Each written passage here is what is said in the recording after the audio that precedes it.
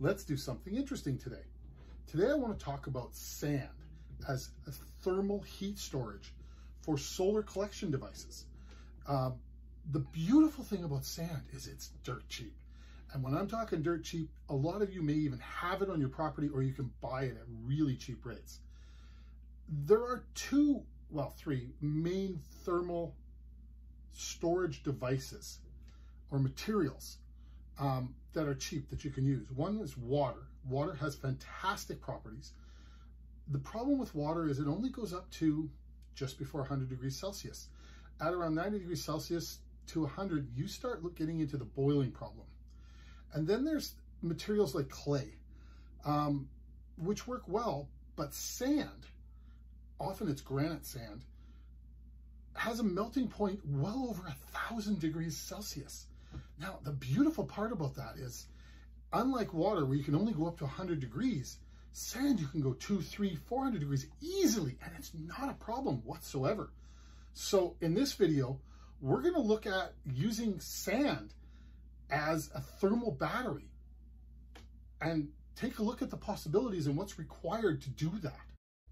Simple Tek, that's the name of this channel.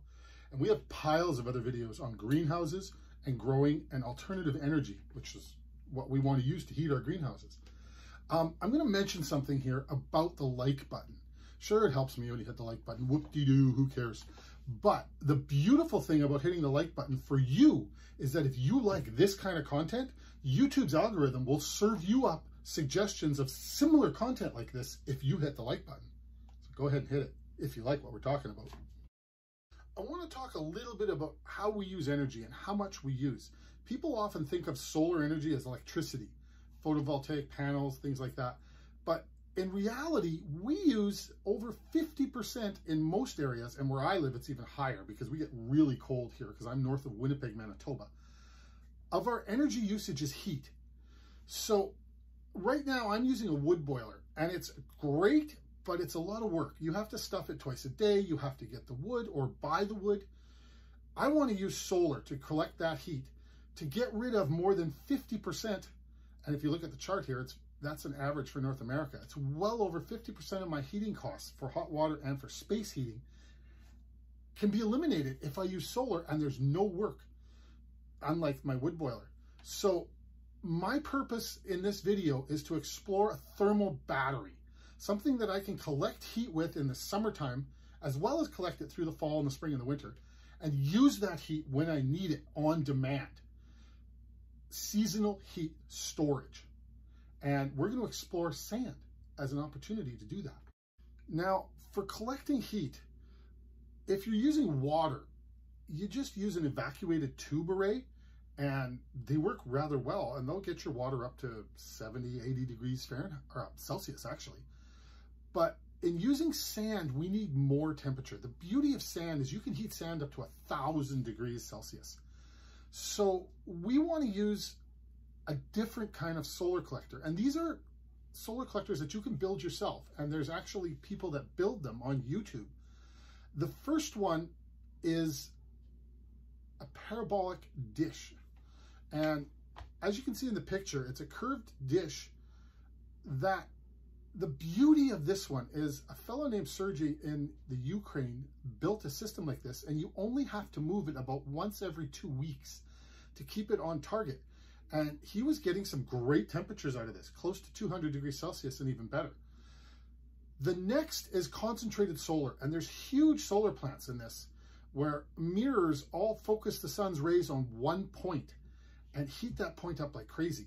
So what I'm hoping for from you guys is some ideas on which system is better. Concentrated solar and how I could make that work to heat sand, or a parabolic trough or dish and running maybe an oil through it. But that being said, I'm really, really, this is in the planning stages right now, and I'm hoping to get some comments and some ideas on how to go forward with this. So let's hear what you got to say. Now, back to the sand and thermal energy storage, if we're going to store energy in the ground on a personal scale like this, you need to have it insulated. Now, there are big projects like Drake Landing that use very little insulation, but they use the size of the actual storage device.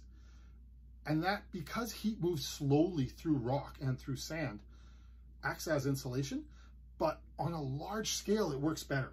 On a small scale, for a house or a greenhouse, we need to be looking at insulating the walls, the bottom, and the top of our storage area. So to use sand, yes, you're gonna need a little more sand than you would have used as water, but sand is cheap and water containers that can hold water at high temperature are extremely expensive. So my thought in containing the sand is to actually pour aircrete, about a foot of aircrete on the bottom of an excavated area, and then building sidewalls that we fill with aircrete or pre-building aircrete sidewalls to contain the sand. And then aircrete on top, of course, as well, with some sort of pipes that run through the sand for injecting heat and withdrawing heat. So that's the next stage that we're getting into is actually injecting and withdrawing heat is the type of tubing we're going to need. When using water, you can get away with PEX because you're not going over 100 degrees Celsius and PEX is good to 80 or 90 degrees. And especially if you use Alumapex uh, that has the aluminum lining in it, you're fine to 100 degrees and it's not going to have a problem. But when we start using concentrated solar or parabolic troughs to get two and 300 degree liquids, PEX isn't going to work anymore. So we need to use copper, stainless steel. Once again, I'd really like some help and some ideas of what the most affordable metal or other material that we can use as tubing to heat the sand thermal battery and extract heat from the sand thermal battery. And that being said, if the sand thermal battery is coming in at two, 300 degrees Celsius, I think there needs to be a secondary thermal exchanger or a mini battery that's most likely made out of water in the two to 400 gallon range, which is a lot more affordable and a lot more readily available in metal that's insulated. And that material, because you can regulate the water better, will then go to your house or your greenhouse to heat it. Sending two, 300 degree liquid into your house might be a little dangerous.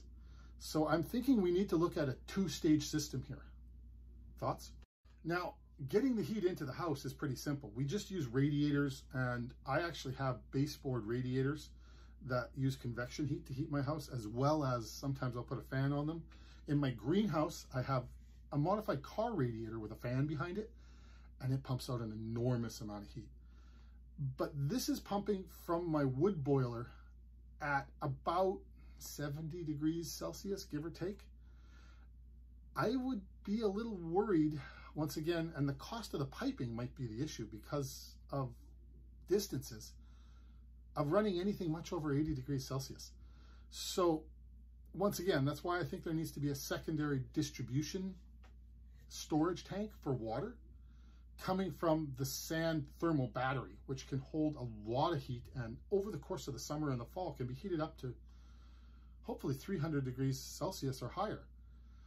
Once again, there becomes another problem is what kind of liquid can we use from the parabolic trough or concentrated solar into the sand that can handle that kind of heat.